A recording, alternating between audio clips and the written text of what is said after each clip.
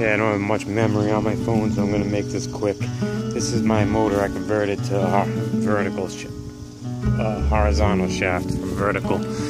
I used to lie down the other way. I mean, this was the bottom. It was an edger tiller engine. Um, what I've done, I'll go over quick here. Um, I used a bolt right here.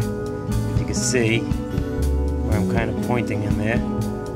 And I just bolted that in to here with a nut on the backside to hold the gas tank on, the car on.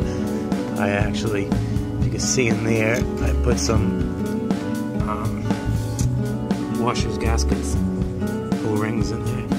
And then I ran a wire know how long going to last, it was temporary until I could put a band or something around it. I ran a wire around to the gas, to the muffler. I wrapped it around it, around the muffler, and that, that holds carburetor on. Um, and then I did the in internal modifications, the little oil flinger, and we'll start her up. Let me put you down for a second.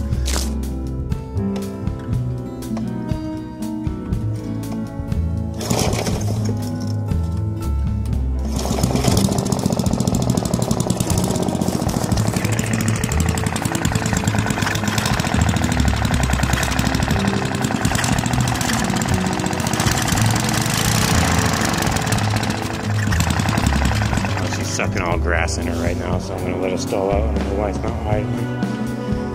But it does run. I probably have to set something on the carb so it, it idles better, seeing there's nothing on there. But that's what it is, and that's it, you know? It is what you get.